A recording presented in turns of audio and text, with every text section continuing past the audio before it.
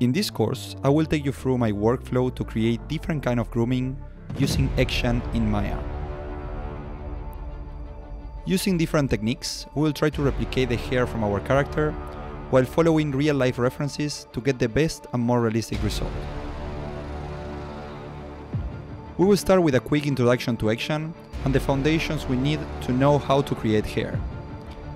After getting our feet wet with the tools, we will jump to our character where we create the scalps and get the file ready to start grooming. We will start with our more complex and interesting description that will be our dreadlocks. We will use a special approach to create them that will give us really similar results to how dreadlocks are created in real life.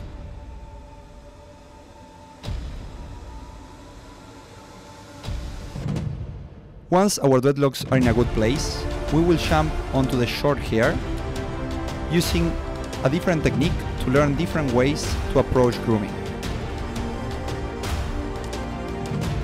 With both type of hairs in place, we will work on different descriptions to integrate them better between each other. After this, we will take care of the eyebrows and eyelashes following real-life references to get the best result. We will study our references and we will check how to replicate these in our Xgen scene. In all the different type of grooming that we will create, we learn how to work with guides and modifiers and we'll create different maps to control our hair. Once we start getting happy with our grooming, we'll set up a render scene in Arnold and we will start testing and checking the results. We will use these renders to auto-evaluate ourselves and then go back to Xgen to do some final modifications. After this, we will be ready to jump onto our final renders and create our final turntable.